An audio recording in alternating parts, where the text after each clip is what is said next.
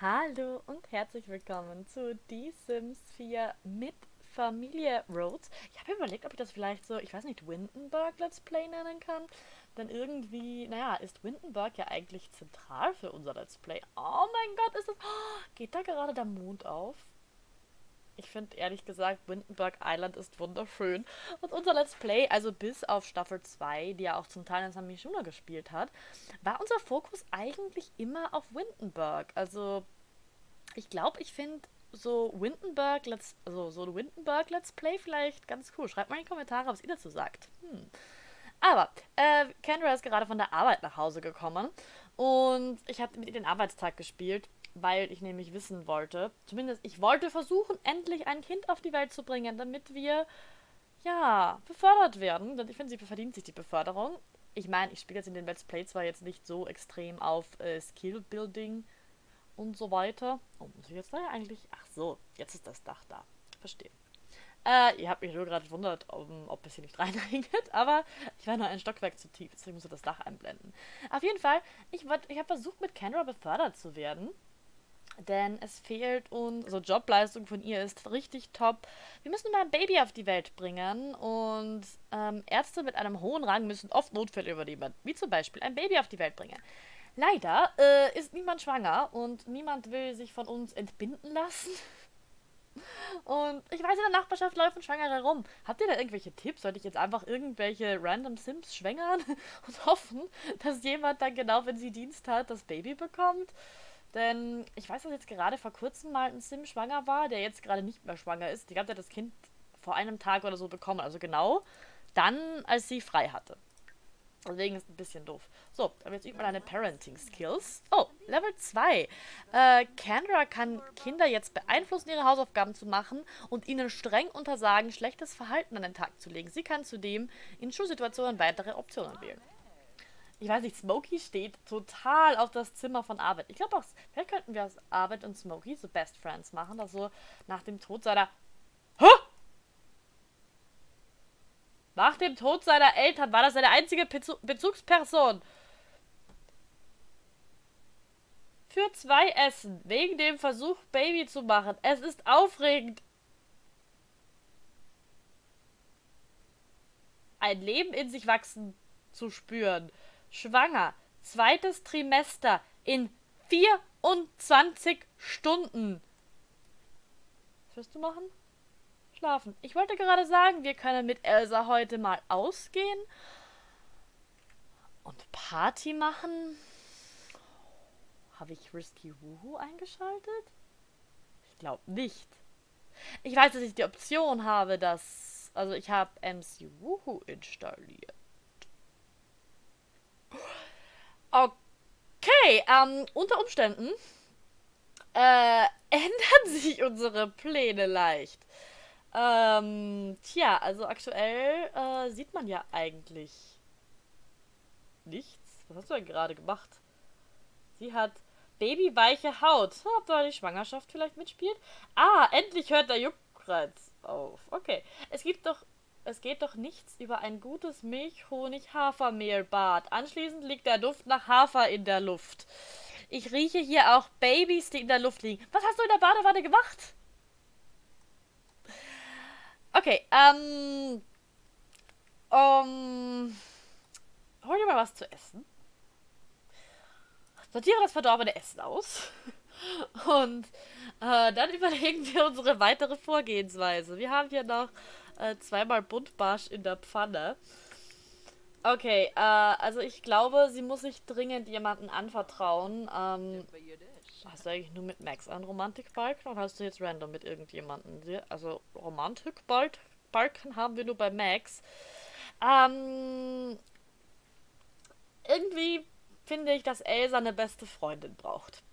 Also, äh, ihr dürft mir gerne äh, Teenager-Sims erstellen damit Elsa dann vielleicht eine Freundin hat, die mit ihr das durchstehen kann. Und äh, was hast du hier eigentlich? Guter Umgang mit Kranken. Na, immerhin etwas. Und ähm, großartiger Lehrer. Ja. Okay, ähm, anscheinend wird das Let's Play zu einem Teen Pregnancy Let's Play. Also ich meine, ich wollte ja sowieso Elternfreuden nennen. Ähm, allerdings wird die Eltern, also werden die Eltern von jemand anderes empfangen. Wobei, ich glaube nicht, dass Elsa jetzt schon in der Lage ist, sich alleine um ein Kind zu kümmern, dass da durchaus Hilfe notwendig sein wird. Oh mein Gott, und Josettes Reaktion. Ihr müsst mal bedenken, äh, Josette ist ja die Stiefmutter von unserem Max.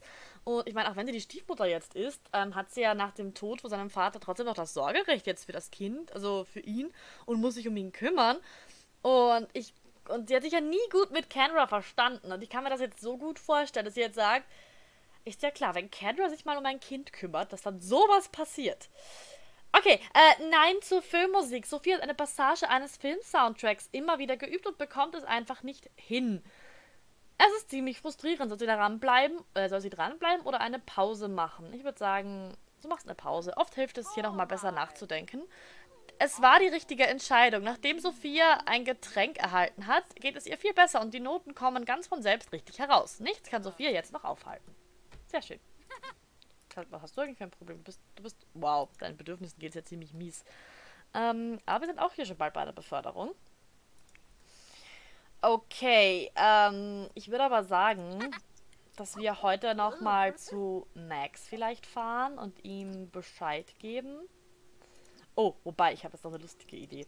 Ich glaube, äh, Kendra und, ähm, und Sophia haben schon drüber gesprochen, ob es nicht vielleicht mal Zeit wäre, so dieses, dieses unbehagliche Techtelmechtel-Gespräch mit Elsa zu führen, weil sie ist ja doch schon eine Weile mit Max zusammen. Und ich würde das jetzt lustig finden, wenn sich jetzt hier alle, äh, wenn sich jetzt äh, die beiden mit ihr zusammensetzen. Was machst du jetzt? Überprüfen.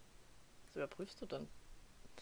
Ich würde mal sagen, junger Mann, dass du ins Bett gehen könntest. Ähm, Nochmal die Zähnchen putzen. Und dann gehst du schlafen. Ähm, und Sophia äh, könnte mal reinkommen. Die kann sich mal auch noch ähm, Reste nehmen. Oder vielleicht will Sophia dieses Gespräch auch führen. Denn Kendra ist ziemlich fertig schon. Ähm, aber Kendra könnte vielleicht noch bei Arbeit hier oben das Monster unter dem Bett einsprühen, damit wir da keine äh, negativen Überraschungen haben, sag ich mal. Also, die beiden hier essen mal auf der Couch, schauen ein bisschen fern. So, und Sophia nähert sich. Und dann führen wir mal das Techtelmechtel-Gespräch. Ähm, obwohl es natürlich... Oh mein Gott! Als Pflegekind adoptiert, das müssen wir auch noch machen. Ähm, so, das passiert jetzt immer recht schnell. Äh, zu etwas beeinflussen. Nein, ich hätte gerne... Ähm, das war vielleicht mal so... Äh, nein, äh, nach anderen Sim fragen. Und zwar hätte ich gerne, dass wir. Oh mein Gott, kennst du. Wir könnten mal nach Kendra fragen, so nach dem Motto, hm, ja, also ich und Kendra, es gibt da so Sachen, die passieren. Also vielleicht baut ihr das ja so auf, weil ich kann jetzt irgendwie nicht nach Max fragen.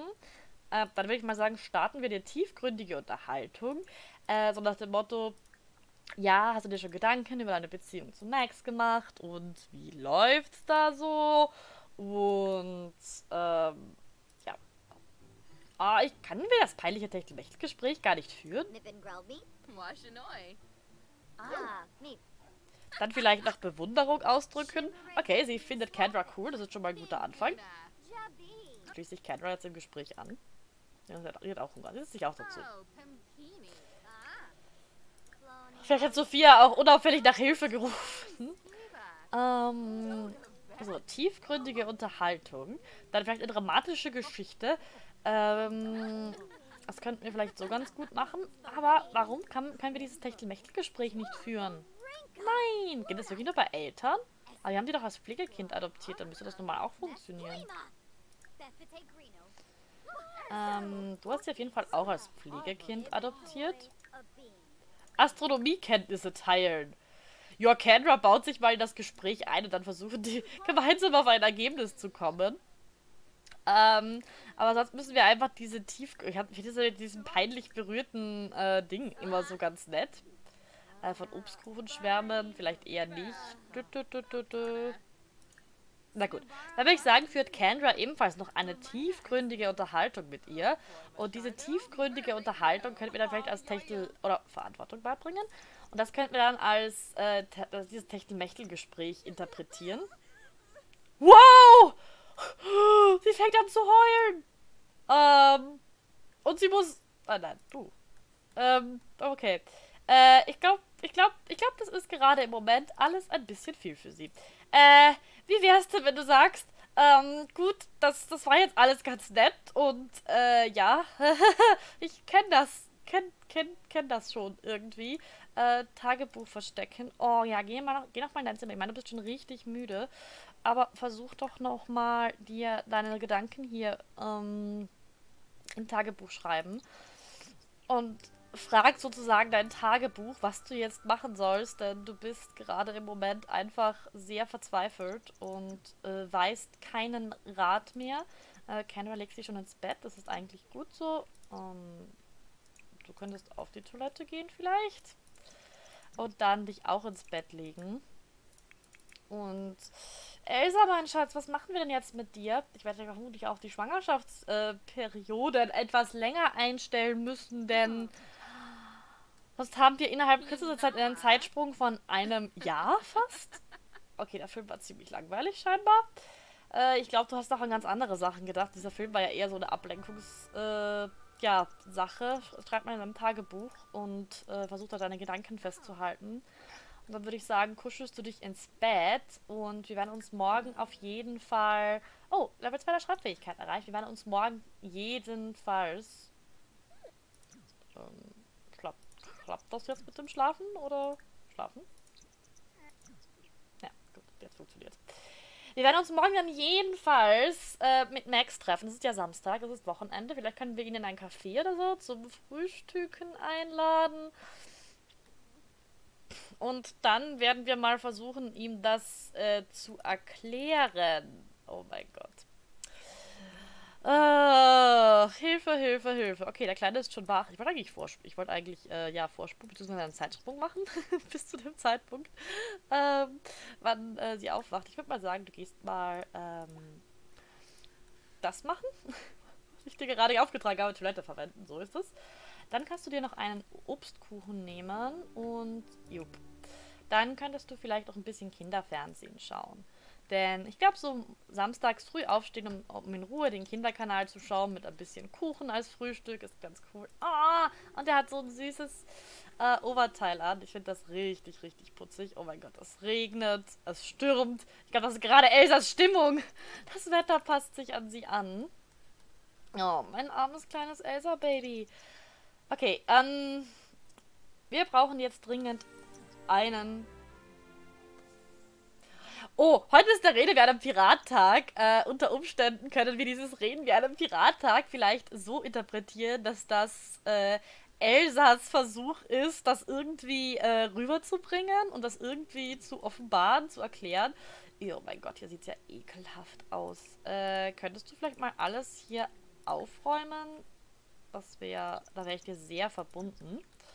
Und wenn das alles aufgeräumt ist, könntest du einen einen äh, Schmaus zubereiten. Und zwar hätte ich gerne zum Frühstück italienische Fleischbällchen, aber sicher doch. Ähm, vielleicht eine Familiengröße mit armen Rittern. Sie weiß ja noch nicht, dass äh, Elsa dann direkt nach dem Aufstehen eigentlich weg ist, weil sie sich mit Max zum Frühstücken trifft.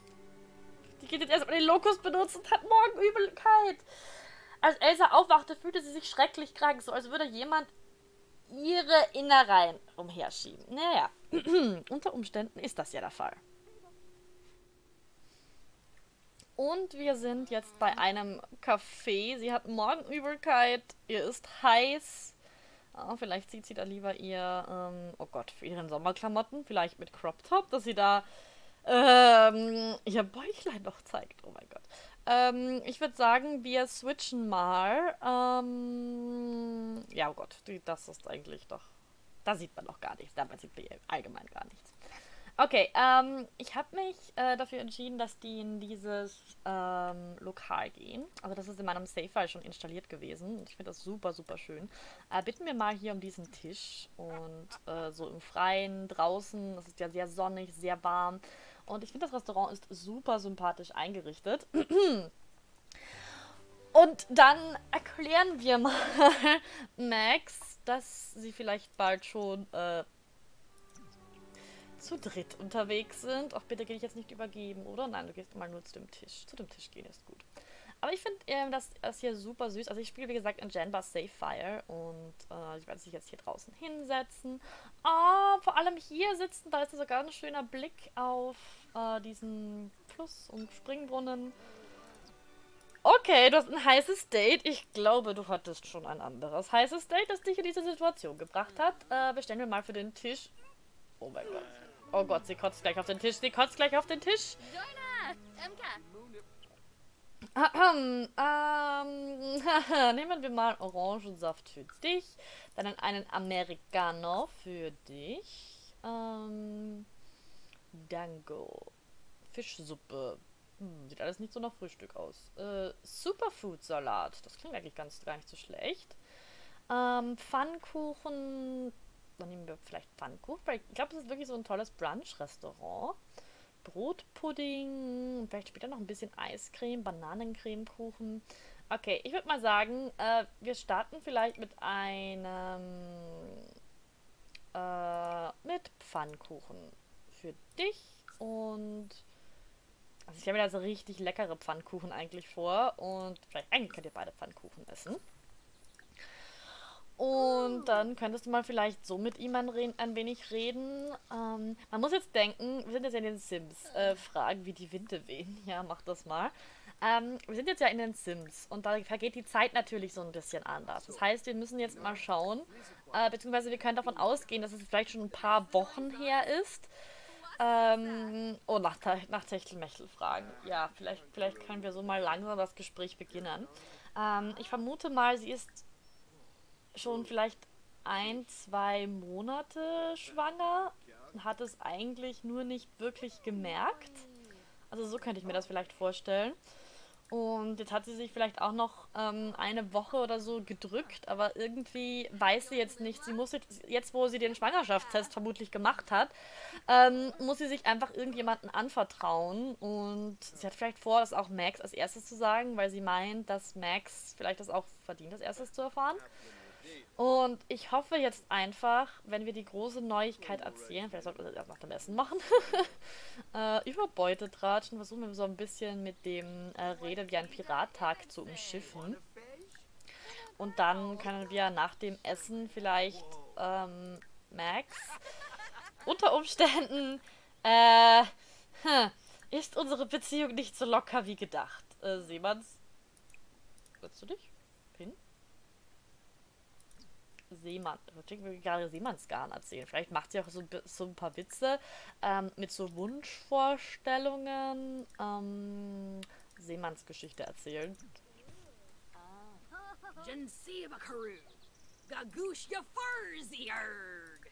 Oh, ich finde das lustig. Am Rede wie ein Pirattag reden die Sims immer so ein bisschen.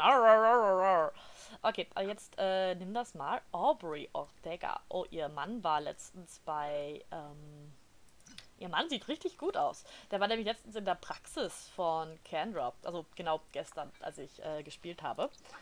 So, jetzt esst mal. Das Essen wird ja eher so schweigend von sich gehen. Vielleicht werden wir später noch einen Bananenkuchen essen. Du hast schon wieder Hunger, obwohl du nicht... Okay, das ist die Hälfte von deinem Pfannkuchen gegessen. Und Zoe war so nett und hat das Geschirr direkt wieder hier auf den Boden gestellt. Okay, also ich glaube, solange sie noch äh, Teenager sind, werden die jetzt nicht mehr von zu Hause ausziehen. Aber ich kann mir vielleicht vorstellen, wenn das alles klappt. Also ich meine, Sims, äh, ich gehe mit dem Spiel. Das heißt, wenn jetzt sich so ergibt, dass die beiden, also er total geschockt reagiert. Jetzt ja, oh, er hat mir gedacht, dass ihre Brüste schon fülliger geworden sind. Das kann ich mir gar nicht vorstellen. Sie sieht, sieht immer so aus wie ein, wie ein Strich. Ja gut, also sie hat schon, sie hat schon Brüste, aber ihr, ihr Bauch ist ganz flatt, äh, flach. Er will in den Urlaub fliegen und sie redet vom Putzen. Und sie sollte sich vielleicht neue Klamotten kaufen? Oh, toll, es fängt an zu regnen. Dramatisch! Okay, es fängt, es fängt gerade an zu regnen. Sie hat den Schirm schon gezückt und...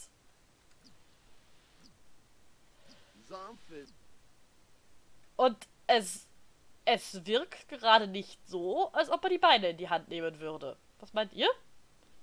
Äh, aber vielleicht solltet ihr dann mal nach drinnen gehen. Ähm, bist du stolz drauf? Oder, also ich meine, wir kennen Max ja bislang nur als... Oh mein Gott! Hilfe! Unser Schirm fliegt davon! Okay, äh, wir, ich, ich würde mal sagen, wir, äh, wir, wir, wir flüchten nach drinnen und setzen uns mal äh, hier vielleicht hin, also ins Trockene. Bevor wir hier draußen patschnass werden. Ich meine, das ist zwar direkt bei der Eingangstür und wir kriegen die voll ins Gesicht geballert, wenn da jemand reingeht.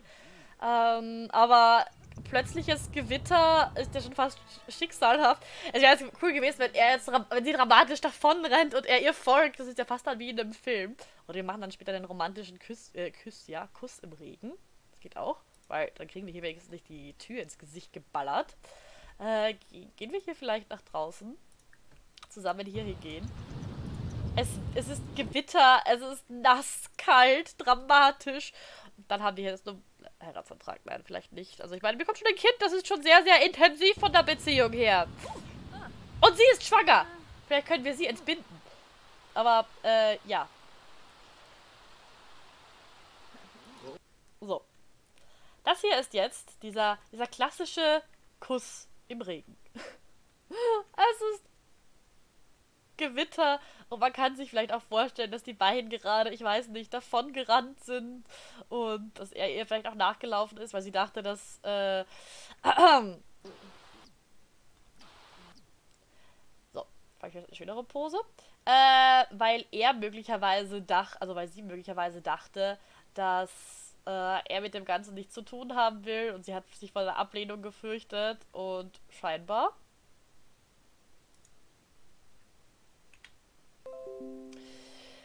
ist er nicht so extrem abgeneigt. Das heißt, wir widmen uns im nächsten Part äh, der Frage, was Kendra und Sophia dazu sagen. Und dann wird es erst richtig spannend, denn ich vermute mal, dass sie das Kendra und Sophia als erstes anvertrauen wollen, ehe sie sich gemeinsam mit Josette treffen und mit Josette dann, ja, äh, mal schauen, wie Josette reagiert. Also ich glaube, da gibt es einen ziemlichen Kampf zwischen Kendra und Josette. Und ja, dem widmen wir uns in der nächsten Folge. Ihr könnt ab jetzt, äh, würde ich mal sagen, Namensvorschläge in die Kommentare schreiben.